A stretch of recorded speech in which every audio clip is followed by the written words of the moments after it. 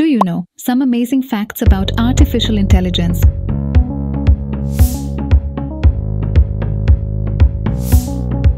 AI and chess.